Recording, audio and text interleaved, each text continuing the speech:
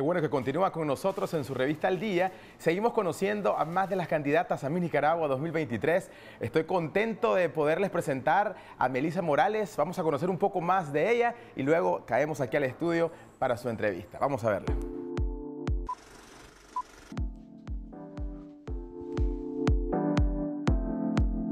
Me da miedo el arrepentimiento, porque de verdad creo que al final lo único de lo que nos arrepentimos son las cosas que no hacemos o que las oportunidades que no tomamos.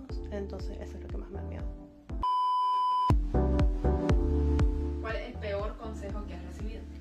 Hubo una vez en una reunión familiar que me dijeron, Melissa, te ves muy bonita, pero te verías mejor con un poco de maquillaje porque te ves muy pálida. Yo tenía como 14 o 15 años y honestamente eso me hizo sentirme aún más insegura. Y después busqué el maquillaje, pero no como una forma de realzar mi belleza, porque yo no creía tener ningún tipo de belleza. El cerro negro porque todo me resbala. Sería el cerro negro, porque es el único lugar donde podemos hacer volcano boarding y siendo una persona a la que le gusta la aventura y a, a hacer cosas nuevas, me identifico.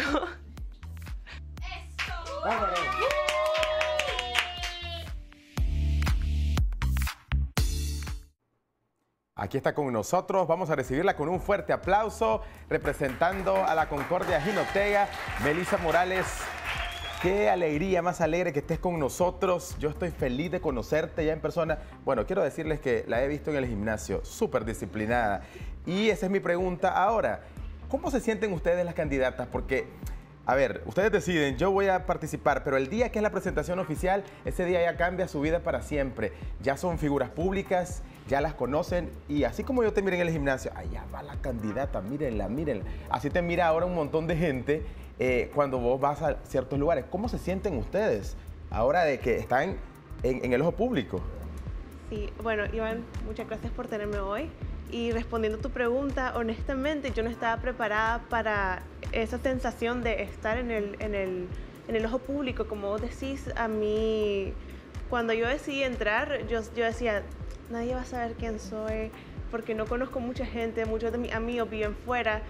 Y después de la presentación oficial me pasaba que la gente me escribía, ay, eh, vas, al, vas a mi gimnasio, o yo iba ahí, y, te viene el súper, y comenzar a darte cuenta que verdaderamente la gente te está reconociendo y me da mucha ansiedad. Pero a lo largo de todo este proceso he tenido muchas conexiones con personas que, que me hacen sentir bienvenida y me hacen sentir como que está bien, siento la conexión. Y al final eso es lo bonito también, y incluso cuando comienzan ustedes a ver cómo van subiendo de seguidores, cómo van esos likes tan bonitos, porque la gente que habla mal, eso es lo de menos, eso es lo que no hay que ponerle ni atención, hay que ponerle atención al, cariño que le da la gente y a esos likes y me gusta que le están dando. Así que para mí eso es lo más positivo. Lo demás, ni, ni caso eh, hay que hacerle. Hablando de amigos que tenés fuera del país, estudiaste en Alemania. Contame esa experiencia. Fue una experiencia muy bonita. He tenido la gran fortuna de a lo largo de mi vida viajar a, a, diferentes lugares, vivir en diferentes países. Y definitivamente he aprendido mucho de todos los lugares en los que he estado. Y siento que te abre la mente, te abre el corazón a, a las diferentes oportunidades que se te, se te, presentan en la vida, las diferentes experiencias y las diferentes personas que llegan a tu vida.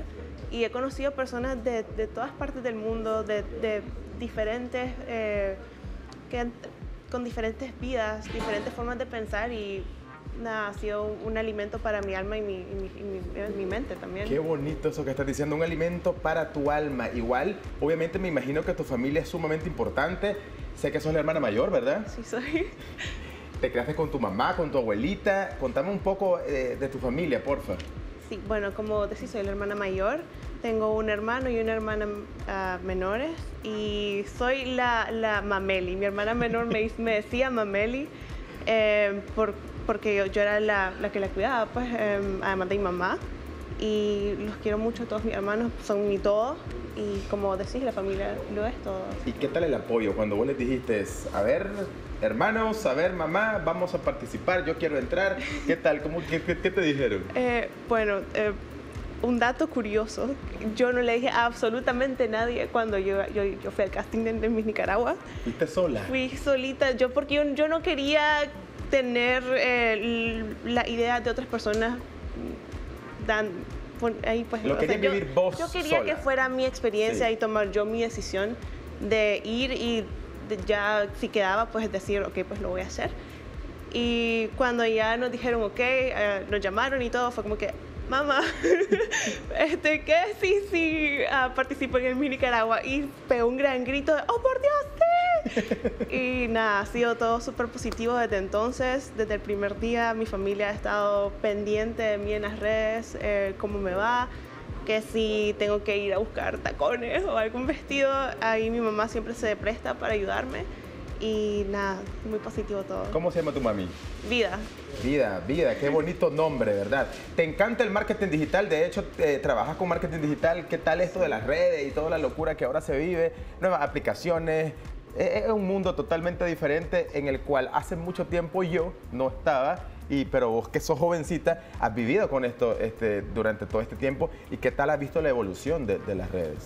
Sí, a mí me fascina el marketing. mm, fue algo que entró a mi vida casi que de la nada. Yo estudié ingeniería industrial, no, sabía que me iba a dedicar al marketing, pero es que soy una persona muy analista, al- analítica y como vos es una industria que va cambiando tan constantemente que a mí me fascina. No me gusta que las cosas se mantengan iguales y ese cambio constante me mantiene con, con ganas de estar aquí, eh, en, esa carrera y, pues sí, ah, con todo esto ha sido, ha sido un apoyo para mí mi conocimiento de marketing a nivel pues, de trabajo porque no, de no tenerlo tal vez sería un poco más abrumante eh, todo porque definitivamente es mucho. Por supuesto, y más en esta época, ¿verdad? Obviamente que las redes sociales, el auge y todo como va innovando. Yo quiero agradecerte porque estás con nosotros, desearte la mayor de la suerte. Ya se acerca ese momento, estamos cerca de dos semanas, ahí estaremos apoyándoles y por supuesto, pásenme las flores con muchísimo cariño de parte de la familia de Canal 11 y Revista El Día. Gracias por acompañarnos, muchísima suerte. Gracias, Iván. Gracias, Vamos a continuar con más del programa. Luis Urbina, ¿estás preparado también con la siguiente entrevista? Conoceremos un poco más de nuestra siguiente invitada, candidata a Miss Nicaragua 2023.